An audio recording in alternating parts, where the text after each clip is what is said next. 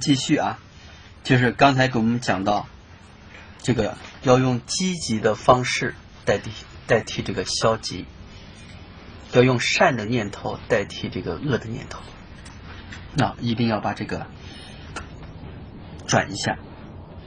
那我们再举个例子来说啊，比如车子老旧了，经常需要修理。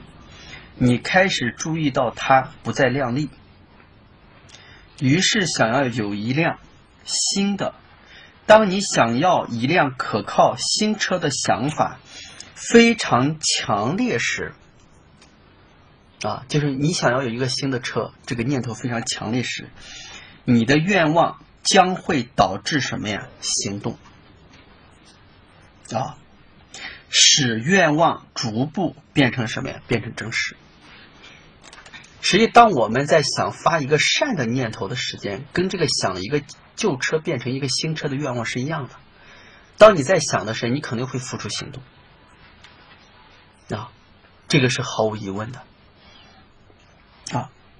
但是，如果你并非将注意力放在新的愿望上，也不是持续将将新车的美好想法放在心上。而只是一味的回过头去看那辆现有的旧车，每天抱怨什么呀？这老爷车怎么老坏呀？为什么老修啊？这个就完了啊！所以就像给大家举的这个车子例子，当你看到你这个车老了，经常要修理的话，你就想到，哎呀，我要买一辆新车。把它转换过来，实际就像我们是负能量的想法的过程中，用正能量把它代替了。啊，你要有了这个想买新车的愿望的话，你肯定会付出这个努力啊。到最后呢，不管你是贷款呀，或者，哎，努力去挣钱呀，你这个愿望肯定就实现了。那你在天天关注什么呀？你看这车怎么老坏呀？这修理工是不是没修好啊？我今天在这儿换个修理的地方，明天在那儿换个修理的地方，甚至你会产生更多的矛盾，和什么呀？和人家四 S 店产生矛盾，和人家修理工产生矛盾，认为人家技术不好，把你骗了。你有这个烦恼的时间，还不如把它转到什么呀？我换个新车的动力上去。就像我经常跟很多朋友聊天，我说你生气能解决问题吗？要是真能解决，那我们大家都生气。既然生气不能解决问题，你又何必多一层生气，把自己多一次伤害呢？这个就没必要。就像很多人：“呀，我愁啊，我愁啊。”我说：“你愁什么呀？愁我儿子没对象。”我说：“你愁愁对象就来了吗？要都能一愁就来了，那你们全家人都愁吧。”就是说，我们经常把我们的思想和关注力度没有关注到。儿子对象的方面去，而是关注到什么呀？愁他没对象，愁来不了，你要干什么呀？给这个亲戚说呀，给朋友说呀，我儿子很优秀，你给介绍一个，你看这不就行了？这是解决的方法。所以我们经常性会把关注点关注到无谓的事情上去，不能让我们的愿望实现，反而加重我们的烦恼和痛苦。就像我们学佛的人一天说什么我有冤亲债主，冤亲债主，你关注佛菩萨不就行了吗？你为什么非要关注冤亲债主啊？你关注他就不来了吗？关键是你关不关注他都要来，那你要是关注了佛菩萨，佛菩萨来了，是不是冤亲债主就走了？就这么简单嘛？你善意来，是不是把恶就止住了？是不是？和这个道理是一样。要不佛在《十善业道经》上讲过一句话，讲什么呀？菩萨有一法能令众生离一切苦，如何离苦？他没有说让你去恶呀，让你去去恶呀，没有说，没有说让你改错呀。他什么话？让你心中不起丝毫之恶，全都是善。你心里只要不起恶就行了。你心里只要不起以后，那全都是善的了，没有一点是恶的了。就因为你心中起了恶，所以你才付出了行动，说过恶话，做恶事。从恶心了吗？我们实际很多人啊，都是嗯，在没有关注要买新车的愿望，而是关注了这个车坏了，我找谁修啊？修理工没修好，他们是不是把我骗了？在这个上面产生了非常非常多的这种没必要的烦恼和痛苦，这是我们关注点。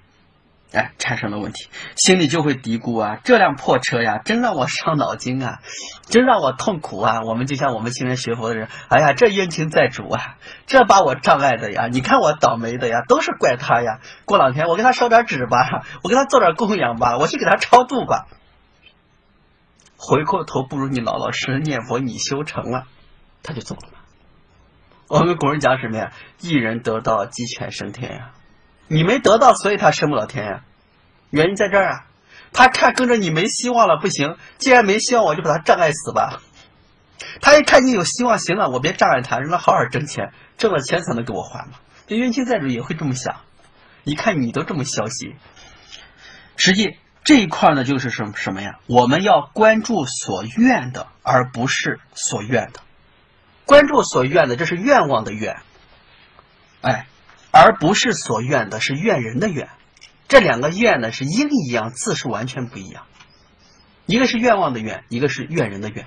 就是我们现在很多人是不关注我们心里想的愿望。佛菩萨之所以成佛菩萨，大家有没有注意？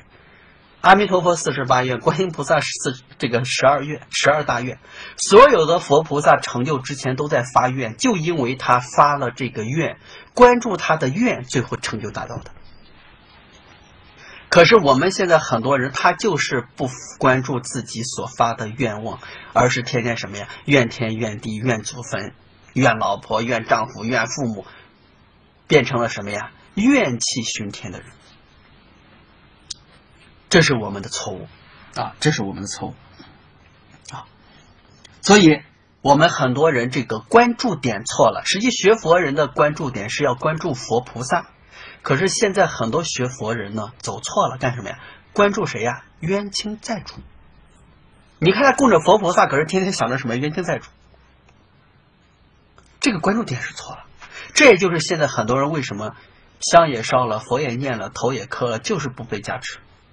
因为你没关注佛菩萨，你关注的是冤亲债主。这叫什么呀？掩耳盗铃，自欺欺人。不是佛菩萨不来，是你不想让他来；不是冤亲债主要来，是你想让他来，是这样导致的。这是我们的观念里面产生了错的关注点啊，这是错的。但是，如果我们的关注点和我们的愿望点变化以后，你的人生立即就发生变化。就像很多人说，我想发财，我想发财。可是你嘴上说想发财，你心里面和嘴上说的是完全不一样。你天天关注的不是想发财的事情，你天天想，你看我想发财，我想发财，我为什么这么倒霉呀？你看这个也不帮我，那个也不帮我，谁都欺负我。你看，你关注的不是发财的这个愿，而是倒霉的愿。这就是一个自然习惯，你就形成了。啊，这是我们自己啊要做要做的事情。这样一来，你实际上吸引力最大的波段是对旧车的不满上面去了，而不是对新车的渴望。啊，为什么我们很多人说呢？哎呀，我这个心想事不能成。实际说心里话，你是心真没想，你是嘴上想，这是我们成不了的原因。啊。就像我们呀，想买新车呢，没有想新车的事情，天天抱怨这个车为什么老坏呀，修理工为什么不好啊，就关注了这个旧车，对旧车的不满上面去，而不是放在了新车愿望上。我们要尽量想想要的什么呀？想要一辆新车，心中所想却尽是旧车的坑坑洼洼、刮痕，这种烦恼把自己就障碍了。就像我们很多学佛的人，什么冤亲债主啊，什么我是下下更新啊，我没有善知识啊，你看，按现在话来讲，什么？你叫自我设限。你看，我们给一个朋友打电话一响，他是不是修行了？人家现在是不是忙着呢？他现在是不是在跟谁跟别人谁通话呢？想了半天呢，就是这个电话没拨出去。你不是空想吗？就和这个道理是一样，就是我们自己首先把自己已经否定掉了啊。要不你看我们看六祖大师了不得，我来做佛呢啊，连这个五祖大师都说呢，一个南蛮子还想成佛呀？六祖大师第二句话就说了：“人分南北，佛性没有南北。”你看人回答多自如啊！一个文盲啊，念金刚经的没没开悟，人家听金刚经的开悟了。我们想一想什么道理？人家的关注点就在这个地方啊！因为很多人读经念佛干什么呀？我为求发财，我为成圣，呃，我为求这个顺利，我为求无病。他没有求像是。干什么呀？我要成佛。这是他把他的关注点求在了我想发财、我想顺利上面。就像很多人见秦龙奎呢，那不是想听秦龙奎讲课呢，想干啥呀？找个捷径，你给我说说，我什么时候发财？说个捷径的方法，哪有啊？有我给我自己留下了，我肯定先爱自己嘛。就和这个道理是一样。我告诉大家的，实际不需要花钱，你只需要自己改变就行。就像有个朋友给他孩子起名字嘛，我说我给你起个名字不要钱，人家说呀，秦老师不行，我找那人起的名字十七万那灵，你这不要钱他不灵，那你没办法，你把你气得要死，你跟他这么一说，他还觉得你有什么想法呢？你不要钱的有想法，要钱的没想法，你想想，所以这个人啊，心态。我们现在很多人有很多心态，什么什么便宜没好货，好货不便宜，都是这种念头。自己给自己就觉得，我只要今天花的是贵钱。你看我们现在中国人有个时髦的想法，为什么买奢侈品？盲目崇拜奢侈品，只要是贵的，只要是大牌子的。那我们想一想，名牌大学的大学生出来都能服务社会吗？那名牌大学的大学生出来是不是？当汉奸的也很多呀，你不要太迷信什么名牌大学了。我告诉你，这是我们的观念错误了，这是一个错误的想法，错误的观念。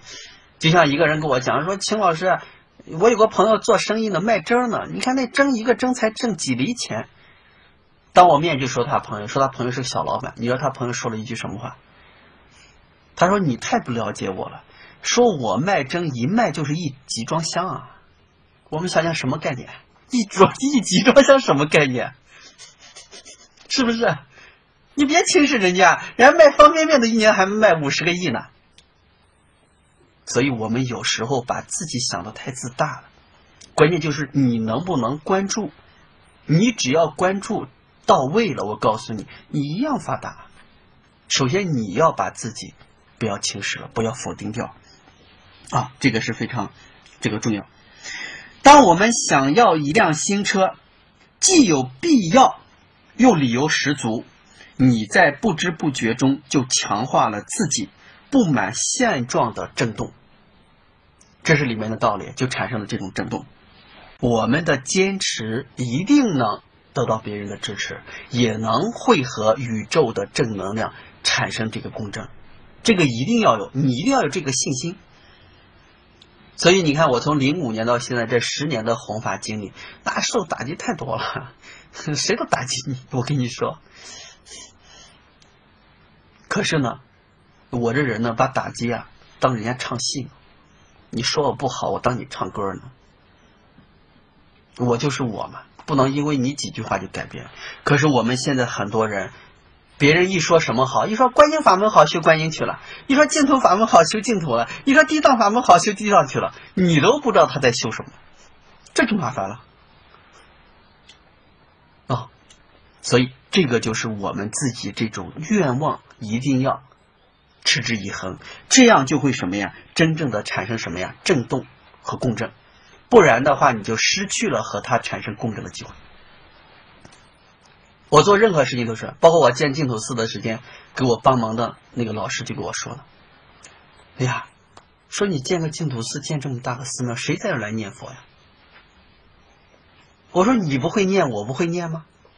我说：“只要这个寺院建起来了，我说你不往生，我在这里面往生，这个净土寺也没白建。”我就这么跟他讲的。